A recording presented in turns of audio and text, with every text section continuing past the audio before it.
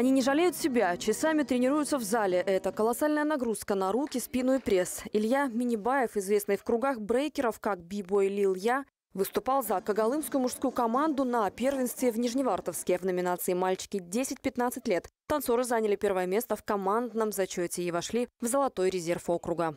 Это называется батлы 3 на 3. Ты, вы с командой показываете свою силу духа, делаете свои связки, ну, командную работу. Ну и вот так вот можно выиграть, выигрываем. Но это было очень сложно, потому что ну, были очень сильные соперники. Ну, спасибо тренеру, он нас тренировал, мы готовились, прокачивались, тренировались, крутили много. Ну, вот так вот мы и выиграли. Кагалым представляли более 30 танцоров. Юноши и девушки выступали в разных номинациях, как в личном, так и в командном зачете. Итог – первые и призовые места. Все благодаря тренировкам по несколько часов в день. У меня э, дыхалка, я ну, могу вывести тяжелый раунд. Э, допустим, э, Леша, у него стиль, и он, ну, как-нибудь там может э, фишку какую-нибудь сделать, и это всем может понравиться. Илья, э, он безбашенный и может там в плечо прыгнуть, может сальто сделать. Мы сначала проходили отбор, кто прошел отбор, тот батлится. Э, мы батлились и так до финала дошли.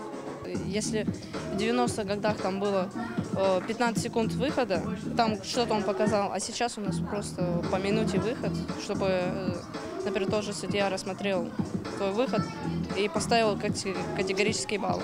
Чтобы стать, как сказать, хорошим, ну, короче, надо это желать, чтобы, чтобы у тебя была мечта, чтобы ты стремился к этому.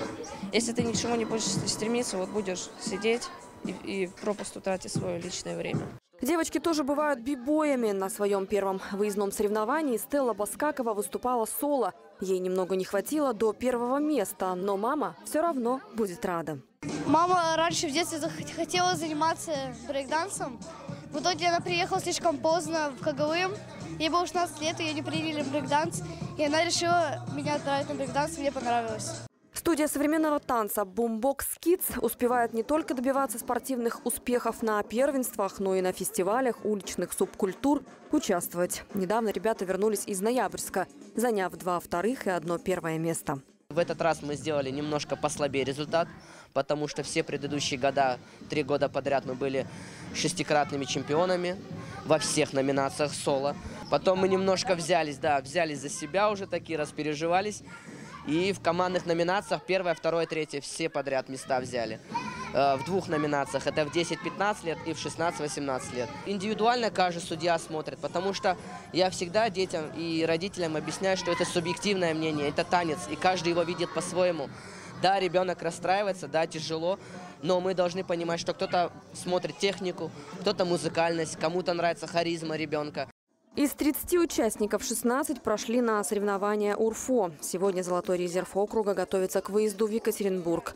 Первенство пройдет 18 и 19 февраля. Результаты покажут, смогут ли гагалымские спортсмены выйти на всероссийский уровень и побороться, а точнее станцевать за главную победу.